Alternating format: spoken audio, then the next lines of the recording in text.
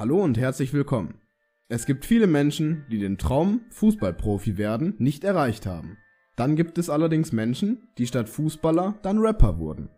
Heute stellen wir euch Deutschrapper vor, welche in ihrer Jugend auf dem Weg zum Fußballer waren, doch dann Rapper wurden.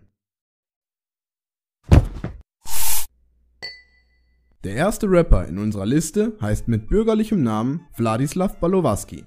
Ihr solltet ihn unter dem Namen Capital Bra kennen. Der 25-jährige Labelchef spielte in seiner Jugend beim BFC Dynamo. Wie gut war er wirklich? Das ist nicht wirklich bekannt. Allerdings konzentrierte er sich schon früh auf seine Musik. Ich glaube, zu seinen Erfolgen als Musiker muss man gar nichts mehr sagen.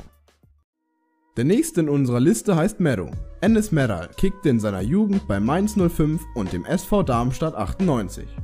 Ob er als Fußballer genauso erfolgreich wäre wie mit seiner Rap-Karriere? Dafür müsste er schon ganz oben um die Champions League Trophäe kicken. Casey Rebel, besser bekannt als Hüseyin Köksechen, spielte als Jugendlicher beim Rot-Weiß Essen. Er war sogar Kapitän vom Arsenal-Star Mesut Özil. Er selber sagte dazu mal, dass für den Fußball ihm die Disziplin gefehlt habe und die Musik ja auch super sei. Boateng wurde statt Profifußballer ein Rapper. Klingt komisch, weil Jerome und Kevin Prince Boateng Profifußballer sind.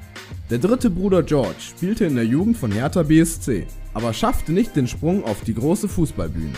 Stattdessen ist George nun unter dem Namen BTNG Rapper. Auch bei ihm mangelte es an Disziplin. Er saß sogar mal wegen Körperverletzung 8 Monate in U-Haft. Maxwell von der 187 Straßenbande spielte auch schon als Kind Fußball.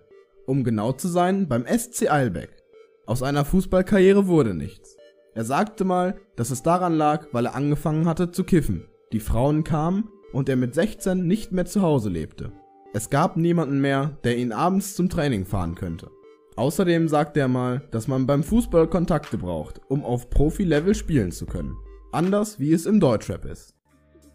Das waren fünf Rapper, die den Sprung auf die große Bühne des Fußballs nicht geschafft haben. Stattdessen sind sie nun Rapper und werden sicherlich von so manchen Fußballern gefeiert. Danke fürs Zuschauen. Wenn euch das Video gefallen hat, dann lasst jetzt gerne ein Like da und wenn ihr nichts mehr verpassen wollt, dann abonniert jetzt diesen Channel. Wenn ihr jetzt noch weiter schauen wollt, dann habt ihr jetzt die Möglichkeit auf die zwei eingeblendeten Videos drauf zu klicken. Tschüssing!